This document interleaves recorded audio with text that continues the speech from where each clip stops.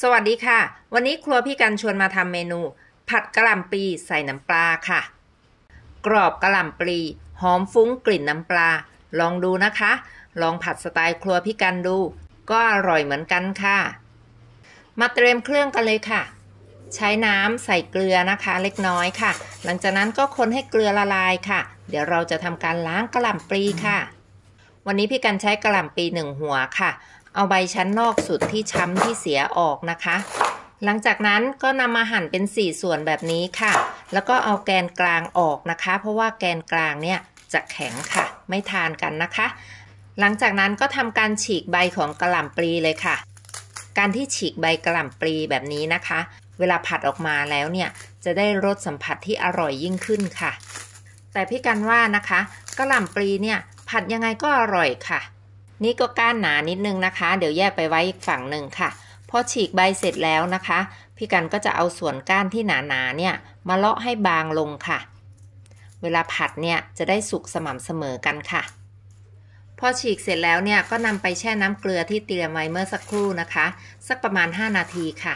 เพื่อเป็นการล้างสารพิษที่ตกค้างนะคะ แล้วก็จะทำให้กระหล่ำปลีเนี่ยสดกรอบค่ะ แล้ววันนี้พี่กันก็จะใส่กุ้งแห้งด้วยนะคะนำกุ้งแห้งที่ซื้อมาจากตลาดเนี่ยแช่น้ำสักพักค่ะ เพื่อให้กุ้งแห้งเนี่ยอ่อนนุ่มลงนะคะ แล้วก็เป็นการทำความสะอาดกุ้งแห้งด้วยค่ะ ตามด้วยพริกชี้ฟ้าค่ะ วันนี้พี่กันก็ใช้พริกชี้ฟ้า 4 เม็ดนะคะนำมาหั่นฉลับแบบนี้ค่ะ ส่วนของเม็ดนี้ก็ไม่ได้ใช้นะคะพริกชี้ฟ้าเนี่ยผัดออกมาไม่เผ็ดเลยนะคะ ช่วยบำรุงหัวใจค่ะ ทำให้เลือดลมสูบฉีดดีนะคะ กินแล้วกระปรี้กระเป๋าค่ะ ต่อด้วยกระเทียมค่ะนำมาบุบๆนะคะ แล้วพี่กันก็จะซอยหยาบๆไว้ค่ะ เอาตามชอบเลยนะคะ ยิ่งใส่เยอะก็ยิ่งหอมค่ะ แถมยังมีสรรพคุณช่วยเสริมสร้างภูมิคุ้มกันให้แข็งแรงค่ะ แล้วก็ยังป้องกันการเป็นหวัดได้ดีด้วยค่ะ เสร็จแล้วค่ะ หลังจากที่แช่กระหล่ำปลีในน้ำเกลือนะคะ ประมาณ 5 นาทีค่ะ พี่กันก็นำไปล้างน้ำสะอาดอีกสักสองสามรอบนะคะ แล้วก็ตั้งไว้ให้เสด็จน้ำค่ะ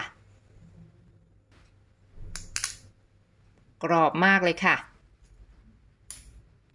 แล้วก็พริกชี้ฟ้าที่หั่นฉลับเตรียมไว้ค่ะ กระเทียมค่ะ ขาดไม่ได้เลยค่ะสำหรับเมนูผัดกระหล่ำปลีค่ะ ส่วนของกุ้งแห้งที่แช่น้ำไว้นะคะ ไปล้างผ่านน้ำสักสองสามรอบค่ะ หลังจากนั้นก็ตั้งไว้ให้เสด็จน้ำค่ะ แล้วก็น้ำปลาค่ะ น้ำปลาชั้นดีก็จะใสสะอาดแบบนี้ละค่ะ แล้วก็มีกลิ่นหอมค่ะ สุดท้ายก็น้ำมันหอยนี่ละค่ะ มาช่วยเพิ่มความกลมกล่อมค่ะ ของพร้อมแล้วค่ะ ไปลงครัวกันเลยค่ะพี่กันจะทำการทอดกุ้งแห้งก่อนนะคะ ตั้งน้ำมันใช้ไฟกลางนะคะ พอน้ำมันร้อนแล้วเนี่ย ลงกุ้งแห้งลงไปทอดเลยค่ะ กุ้งแห้งพอทอดไปสักพักหนึ่งนะคะ ก็จะหอมกลิ่นมันกุ้งเนี่ยโชยมาเลยค่ะ พอกุ้งเหลืองแล้วนะคะ ตักขึ้นค่ะ ไปเสด็จน้ำมันรอไว้ค่ะ ส่วนน้ำมันที่ทอดกุ้งเนี่ยก็จะมีกลิ่นหอมของมันกุ้งเลยนะคะ หลังจากนั้นพี่กันก็จะลงกระเทียมค่ะ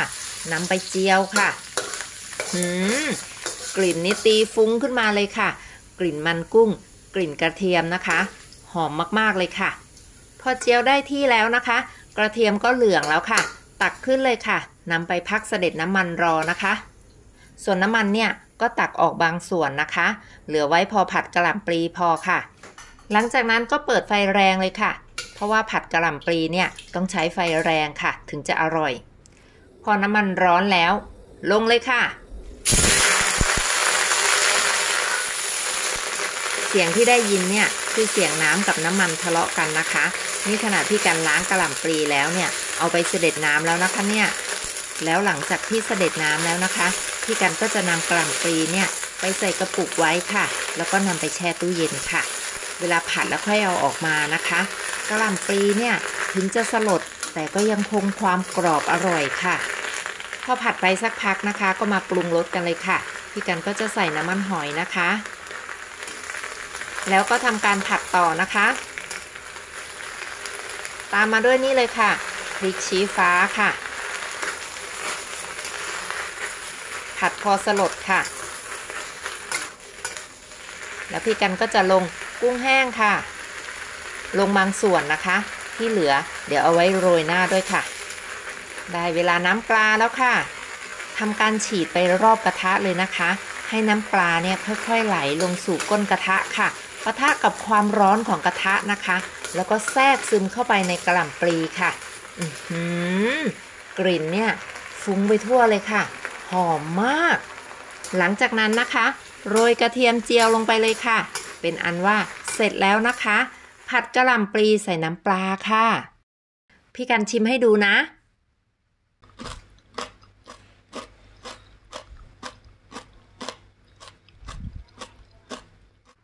อืม กรอบอร่อยมากๆเลยค่ะ แล้วถ้าใครชอบเมนูนี้นะคะ ก็อย่าลืมช่วยกดไลค์กดแชร์กด Subscribe เป็นกำลังใจให้พี่กันทำเมนูต่อๆไปด้วยนะคะ ลองสักคำไหมคะ แล้วพบกันใหม่กับเมนูต่อไปของพี่กันค่ะสำหรับวันนี้ สวัสดีค่ะ